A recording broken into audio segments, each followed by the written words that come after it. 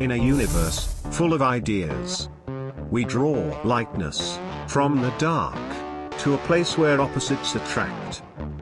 Right meets left, positive touches negative, sparking an explosion of truth. Because politics makes strange bedfellows.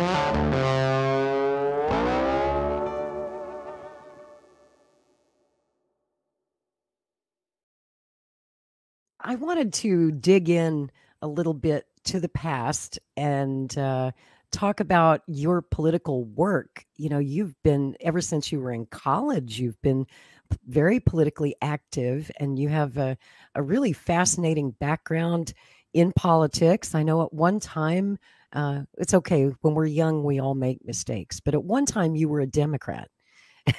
Yes. and uh, you used to be deputy director of voter protection on uh, Terry McAuliffe's gubernatorial campaign, and and then you worked on uh, Senator John Kerry's PAC. Um, what was that like? Well, those are the experiences that convinced me to become an independent. Mhm. Uh, it was, um, you know, coming out of uh, college, um, I really wanted to help make some kind of positive change in our society in, in the United States because I thought there's so many kind of obvious solutions and things that should be done that people agree on, you know, across the political spectrum that aren't done, like ending the wars and putting that money, you know, kind of back into infrastructure or taking it off taxes or whatever. Um, and so, you know, I thought naively that the Democratic Party could be like a venue to do that. Uh, and so I got involved with them. I worked uh, on various campaigns and um, and and on Kerry's PAC, and uh, and then on Bernie Sanders' presidential campaign in 2016, uh, where I was the national political outreach coordinator, uh, reaching out to the superdelegates uh, for him, trying to win Good their luck. support. Yeah, exactly. It was miserable. It was miserable. Um, and then uh, uh, and then also uh, doing some delegate work at the convention, helping to arrange his political meetings, things like that. Uh, and then he asked me to come over to uh, Our Revolution, so I helped found Our Revolution with him uh, after that as well. But uh, that whole experience of how they cheated Bernie in the primary was kind of what uh, what told me that that party couldn't be reformed. Hmm. You know, I have to ask because you were there at the convention in 2016. And I know that Bernie's supporters were not really happy about this uh, nomination of Clinton by acclamation. Mhm. Um, you know, I, how did that feel for you who had worked so hard to help Bernie get to that convention, to bring all those delegates, only to have Bernie tell everyone to sit down, shut up, just endorse Hillary. It's all good. What was that like? It was terrible. It was Mm. very dispiriting. In fact, I remember that very moment that you were talking about. I, I, was on the convention hall um, because you know I, I- didn't even know he was going to do that, and Mm. so I was on the convention hall when he you know came up, did it by acclamation, um, and uh, you know it just went so so much further beyond that too. It was re- it was a real slap in the face of the Bernie delegates, uh, people who had worked so so hard for him, like across the country. You know, just so many unbelievable stories of sacrifice of people sending in their social security checks or skipping like you know there were even some stories of people who like skip you know funerals like you know to be there uh, or to, to volunteer during gotv and that kind of thing.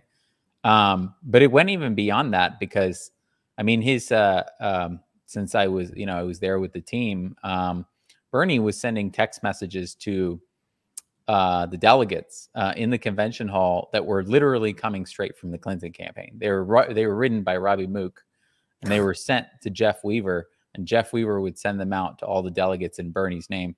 And of course, they were calm down, settle down, support Clinton. You know, it's, it's such a travesty of of an affair. He really should have gone independent, and I encouraged him to go independent. I encouraged him to take the top of the ticket in the Green Party, which Jill Stein offered him, but he Mhm. didn't want to do that. I remember. And you know, I, I mm-hmm. remember that moment too. I wasn't in the house, but I was watching on television. And I could see that you know, a lot of the Bernie delegates were getting rowdy, and I was expecting a walkout in protest, but Bernie managed to get them under control. Now, after hearing from you, I understand who was really behind that. It was Robbie Mook and, of course, the Clintons. Yeah. Mm-hmm. And they had one glorious moment where they stormed the media tent. Mm-hmm. Uh, they kind of misdirected.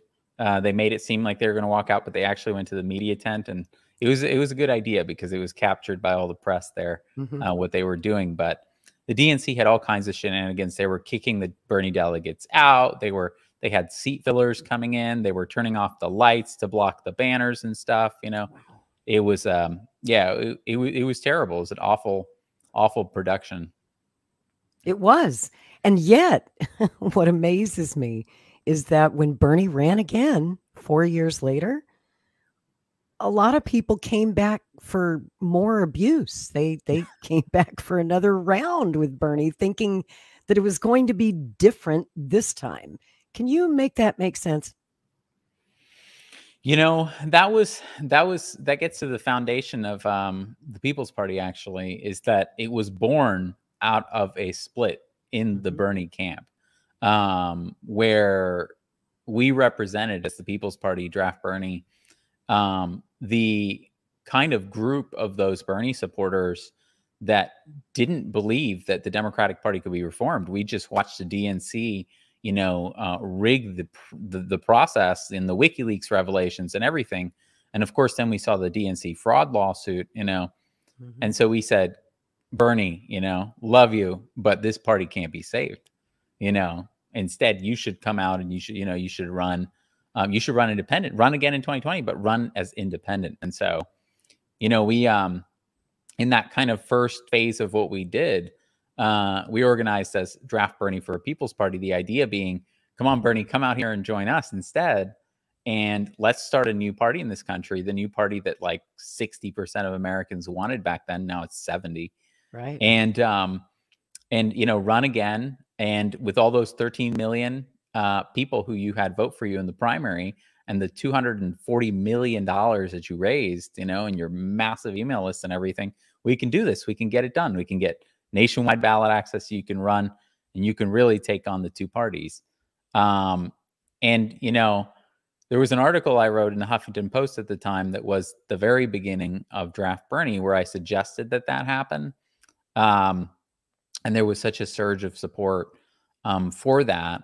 Uh, but you know, and and then it kind of culminated. Draft Bernie kind of culminated in the um, Convergence Conference, uh, which was a conference that we hosted with a bunch of allies, lots of people who are supporting Draft Bernie, uh, to get him to break with the Democrats finally.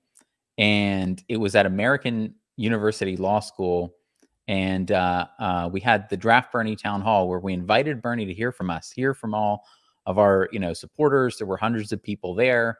Um, Jimmy Dore, Cornel West, and Kshama Sawant uh, were hosting the uh, town hall with me, and Bernie stood us all up. Bernie stood us mm. up, and I remember uh, that. He didn't, didn't even want to talk to us, um, and it was so disappointing. But you know, uh, look at I mean, look at him now. So Right. You know, that's just what the Democratic Party does to people. Yes. And since, you know, I'm working with the Kennedy campaign, uh, Robert F. Kennedy Jr.'s campaign, and and he's running in the Democratic Party despite all of our advice not to. Um, yes. He is, uh, you know, he's on a mission to try and save the Democratic Party. Now, I think that's an admirable mission. I would like to uh, have our Kennedy Democrat values return to that party, but you know firsthand what an uphill battle that's going to be because you went through it all with the Bernie campaign. And so um, I'd like to talk to you a little bit about that and what you think Kennedy will face in terms of opposition from the Democratic Party based on your experience with Bernie. Yeah, no, I mean, gosh, so many things. I see it now. It's um it was the, uh, the super delegates, of course, are kind of they have multiple lines of defense. You know, uh, there's uh, of course there's no debates this time, um, and so you know I I'm I'm sure they're gonna stick to that, and you know because they don't they're terrified of putting uh, Biden on a stage with with Kennedy or Williamson, and um, you know then they've reshuffled the primary debate order. Of course, they put South mm-hmm. Carolina first, so that that's kind of going beyond what they even did to Bernie. Uh. They're you know they're they're taking new inventing new ways to rig it, and of course, how did that come to be? Uh, and why South Carolina? Why are they putting South Carolina in front of Iowa? Because you know why? Yeah, exactly. Because that's the state where Biden thinks that he just owns the black vote. Mm-hmm. And so he thinks he's going to go waltz in there and they're going to give it to him the first state. And that's going to set the tone for the rest of the primaries, you know? Mm-hmm. Um, and, and you course, know, uh, Kennedy just spent the last two weeks campaigning hard all across South Carolina, drawing big crowds. Um, but something that kind of troubles me is when I look at these crowds, they're 95% white. And I don't understand why we're not seeing more black faces in those crowds because the Kennedys and the black community have been, you know, some of their heroes. They're like gods in parts of this country, certainly down in the South. Uh, they've got a picture of Jesus over the fireplace, MLK on one side, and John F. Kennedy on the other, um, as the Holy Trinity in, uh, in much of Southern Black America. So I, for the life of me, Nick, I can't figure out what Bobby needs to do to bring the black voters over to his side away from Joe Biden. What the hell has Joe Biden done for black America? Oh my God. What Ever. hasn't he done to them? Exactly. I mean, this is this is like, you know, uh uh I mean, he's a basically like a Jim Crow segregationist, you know. Like mm-hmm. those are his political roots. Uh, author of you know uh, uh, and massive advocate of uh, uh, you know the crime bill uh, in the nineties. Damn bill, to quote Bernie. He wrote the damn bill. Exactly. So it, it it's hard to think of someone like in American politics who is worse, who has done more to harm black people mm-hmm. and people of color um, than Joe Biden. But you know, in South Carolina and through a lot of the South, you know, a lot of the politics, especially in Black communities, it works through those institutions where, you know, people gather through churches, networks of churches, um, which the Democratic Party, you know, works very hard to retain this kind of tight control. Mm, good over. point. Good point. Yeah. Hmm. So what I about, hope he's able uh, to break through. I do too. What about um, something I've heard you talk about over the years uh, with Jimmy Dore? um, it, you know, when you were in that transition back in 2017, 2018, when you were doing our revolution and then the movement for the People's Party, you talked a lot about sabotage of the Bernie campaign from within. Um, yeah, I I have similar concerns about the Kennedy campaign, to be honest with you. Um, I won't go into detail or name names, but I have some concerns. So tell me a little bit about how that happened and what happened. Well, the way it happened and the thing to look out for, you know, I hope you're listening, Bobby and Dennis and everybody else, is um, the DNC will plant people in your campaign. They will send people who worked for either the DNC or some consulting firm you know, um, into the campaign. They'll kind of advise that this person be hired or the person will approach the campaign. And that person has relationships, you know, often strong relationships back to the party apparatus. Mm-hmm. Um, and so those people will then um, feed information, uh, you know, back um, to the party, mm. which, you know, the party can use, of course, to try to sabotage the campaign. And we absolutely had moles in the Bernie 2016 campaign. Um, you know, it was well known by the end. Um, and so it, it is definitely something to look out for. You have to, I think, in building a team, this is always a dilemma, um, you know, because a lot of the, including for us at the People's Party, uh, because a lot of the experience, especially professional campaign experience, exists in the world of mainstream establishment Democratic politics or Republican politics. And so when you're looking for experienced staff and experience, you know, and professionalism and knowledge, it does, it makes a big difference. um, you know, it's hard to find those people who uh, have this, who who share your viewpoints, you know, and have not mm-hmm. worked for all these different candidates, or you know, who are willing to break from them.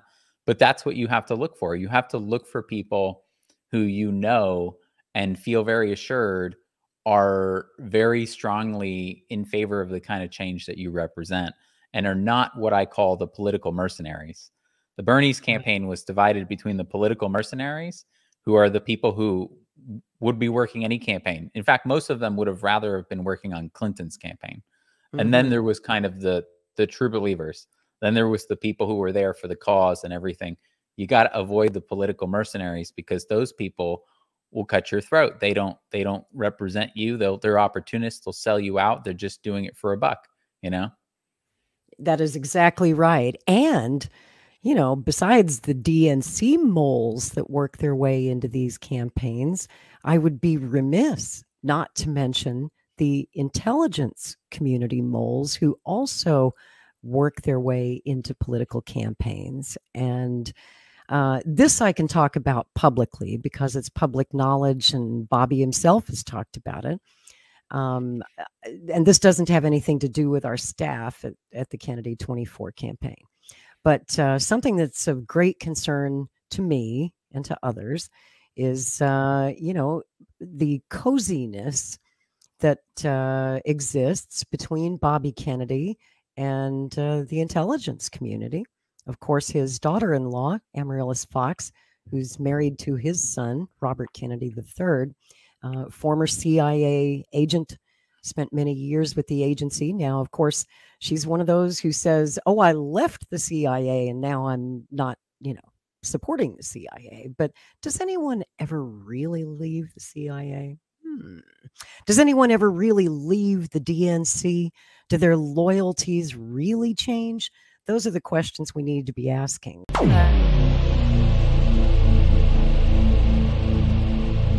This has been a Maverick Multimedia production.